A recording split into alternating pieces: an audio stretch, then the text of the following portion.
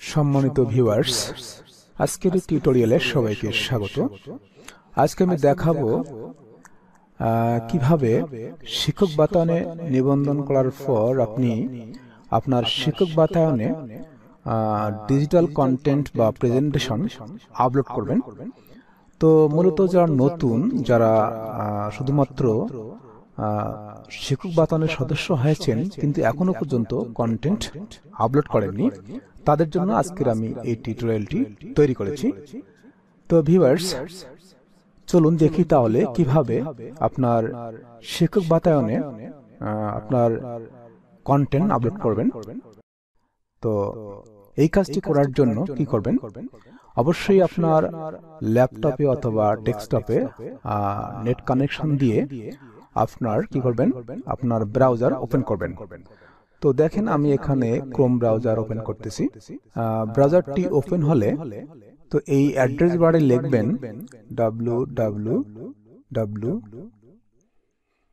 dot teachers T A C S E R S teachers dot G O V dot gov dot BD তো লেখার পর কিন্তু আমার এই সাইটটির যে অ্যাড্রেস অলরেডি চলে এসেছিল, তো আমি লিখে দেখাচ্ছি কারণ আমি যারা নতুন তাদের জন্যই আমি কাজটি করতেছি। এভাবে আপনারা অ্যাড্রেস বারে W W W dot teachers dot gov dot লিখবেন। লেখার পর এন্টারে ক্লিক করবেন। এন্টারে ক্লিক করলে আপনার কি হবে? আপনার যে যেহেতু আপনি শিক্ষক বাতানের সদস্য তাহলে কি হবে? আপনার এভাবে যে হোম পেজটা চলে আসবে আসার পর আপনার পেজে আপনি লগ ইন করবেন। তো লগ ইন করার জন্য দেখেন আমি অলরেডি অবশ্য এখানে লগ ইন করেছি। তো লগ ইন করা ছিল। তো যাই হোক আপনার লগ ইন করবেন। লগ ইন করার পরে দেখবেন যে আপনার যখন এরকম পেজটি চলে আসবে তখন আপনি কন্টেন্ট আপলোড করার জন্য এখানে দেখেন যে এখানে যখন আপনি কার্সরটি নিয়ে যাচ্ছেন এই জায়গানে যে অ্যারো চিহ্নটি উপরের দিকে যে অ্যারো চিহ্নটি দেখাচ্ছে এখানে আমি আবার দেখাচ্ছি এভাবে যখন কার্সর এখানে নিয়ে যাবেন তো যাওয়ার পর দেখবেন যে এখানে অনেকগুলো অপশন চলে আসবে। ব্লগ চিত্র প্রেজেন্টেশন ভিডিও কন্টেন্ট প্রকাশনা ম্যাগাজিন উদ্ভাবনের গল্প নেতৃত্বের গল্প মোদীর শতবর্ষ শিক্ষা অগ্রযাত্রা এরকম অনেকগুলো জিনিস আপনি কিন্তু আপলোড করতে পারবেন। তো যেহেতু শুধুমাত্র আজকে আমি দেখাবো যে কীভাবে প্রেজেন্টেশন বা কন্টেন্ট আপলোড করবেন। তো এই জন্য আপনি এই প্রেজেন্টেশনে ক্লিক করবেন। তো করার পর দেখেন এখানে বলতেছে যে প্রেজেন্টেশন আপলোড এখানে আপনাকে আপলোড করতে হবে। তো আপলোড করার জন্য কি করতে হবে? যে এখানে আপনার যে বিষয়টি উপরে আপনি কন্টেন্টটি আপলোড করবেন সেই বিষয়টি এখানে লিখবেন।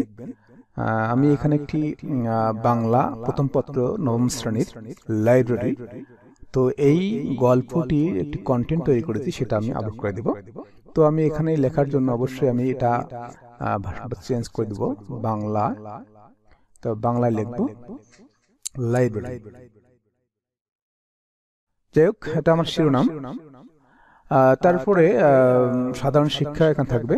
তারপরে হচ্ছে এখানে সাধারণ শিক্ষা যদি চান মাদ্রাসা শিক্ষা তাহলে মাদ্রাসা শিক্ষা কারিগরি শিক্ষা হলে কারিগরি শিক্ষা তো আমি এখানে সাধারণ শিক্ষার একটি কন্টেন্ট আপলোড করব সেক্ষেত্রে সাধারণ শিক্ষা হবে এখানে।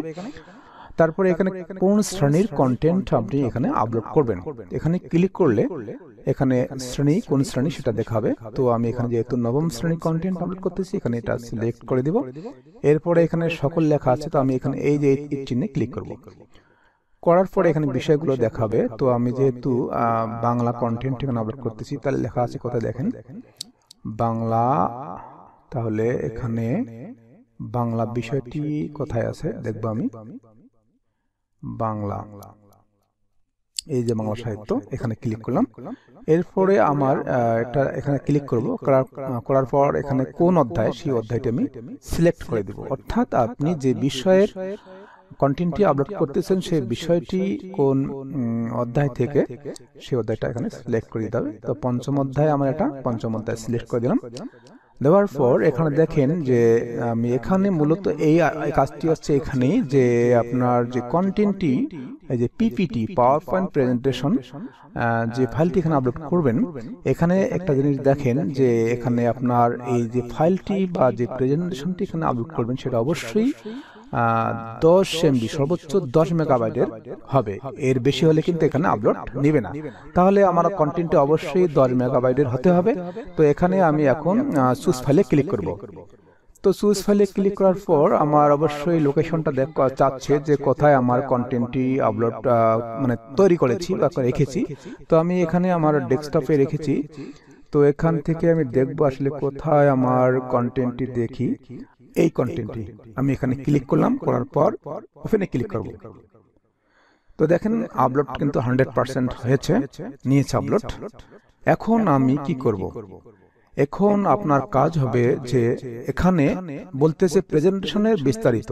আপনি এখানে যে প্রেজেন্টেশনটি আপলোড করবেন সেখানে সেই প্রেজেন্টেশনের উপরে কিছু লিখতে হবে। তো ধরেন আমি লিখব যে এটা আছে বাংলা প্রথম পত্র নবম শ্রেণি সেটা লিখতে পারি। লিখব এখানে বাংলা। বাংলা। প্রথম পত্র। বাংলা প্রথম পত্র নবম শ্রেণি নবম শ্রেণি। নবম শ্রেণি তারপরে হচ্ছে এখানে কি লিখতে পারি? অধ্যায় লিখতে পারি অধ্যায়। অধ্যায়। কত অধ্যায়? অধ্যায় হলো পঞ্চম।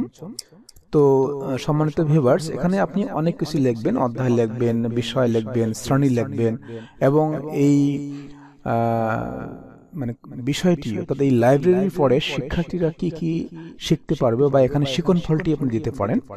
তো, শিকন ফলটি দেওয়ার জন্য আরেকটি কাজ করতে পারেন আর সেটা হচ্ছে আপনি এখানে আপনার যে কন্টেন্ট এখানে আপলোড করবেন সেই কন্টেন্টটিতে গিয়ে আপনি এখানে আরেকটি কাজ করতে পারেন, সেটি হচ্ছে স্ক্রিনশট করে দিতে পারেন এখান থেকে শিকন ফলটা এখানে স্ক্রিনশট করে দিতে পারেন।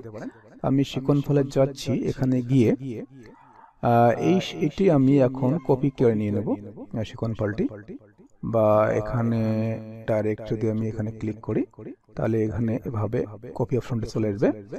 এরপরে আমি চলে যাব আমি আবার এখানে যাওয়ার পর এখানে পেস্ট করে দেব। দেখেন এখানে কিন্তু চলে এসেছে। শিকন ফলটি চলে এসেছে। এখন আমি যে কাজটি করব সর্বশেষ যে কাজটি সেটি হচ্ছে এখানে দেখেন যে বলতেছে যে কন্টেন্টের ছবি পছন্দ করুন। অর্থাৎ এখানে আমি যে কন্টেন্টটি এখানে আপলোড করতেছি সেই কন্টেন্ট সংশ্লিষ্ট এখানে একটি ছবি। আপলোড করতে হবে। করার জন্য এখানে অবশ্যই ক্লিক করতে হবে। ক্লিক করার পর এখন আমি যে ছবিটি এখানে আপলোড করব দেখেন এখানে আমি একটা ছবি আগের থেকেই পার্ট সংশ্লিষ্ট একটা ছবি এখানে রেখেছি। তো লাইব্রেরির ছবি দেখ দিলাম দেওয়ার পরে এখন আমি সর্বশেষ যে কাজটি হবে এখানে আমি সংরক্ষণে ক্লিক করব। ক্লিক করলাম। তো সম্মানিত ভিউয়ার্স দেখেন আমার কন্টেন্টটি কিন্তু আপলোড হয়ে গেছে। তো এখন চাইলেই আপনারা আবারও আপনার প্রোফাইলে গিয়ে চেক করতে পারেন। তো এখানে যাওয়ার পর আমি প্রোফাইলে যাব। প্রোফাইলে গেলেই আমি দেখব আসলে আমার এর আগে কন্টেন্ট এখানে ছিল না। এখন দেখেন এখানে কিন্তু একটি কন্টেন্ট আপলোড হয়েছে। তো সম্মানিত ভিউয়ার্স এভাবেই আপনারা যারা নতুন, তারা এভাবেই যদি মনোযোগ সহকারে আমার এই টিউটোরিয়ালটি দেখেন, অবশ্যই আপনারা কন্টেন্ট আপলোড করতে পারবেন। এবং কন্টেন্ট আপলোড করার পর কীভাবে এই কন্টেন্টের রেটিং দিতে হয় বা কারও কাছ থেকে রেটিং নিতে হয় সেটিও আমি একটি টিউটোরিয়ালে দেখিয়েছি, সেটাও আপনারা দেখে আসতে পারেন। তো ভিউয়ার্স এই ছিল আজকের আমার টিউটোরিয়াল আশা করি আপনাদেরকে ভালো লেগেছে। তো এতক্ষণ থেকে আমার সঙ্গে থাকার জন্য সবাইকে ধন্যবাদ। দেখা হবে আরও অন্য কোনো টিউটোরিয়ালে। ততদিন পর্যন্ত আপনারা সুস্থ থাকেন, ভালো থাকেন। সবার জন্য শুভকামনা করছি।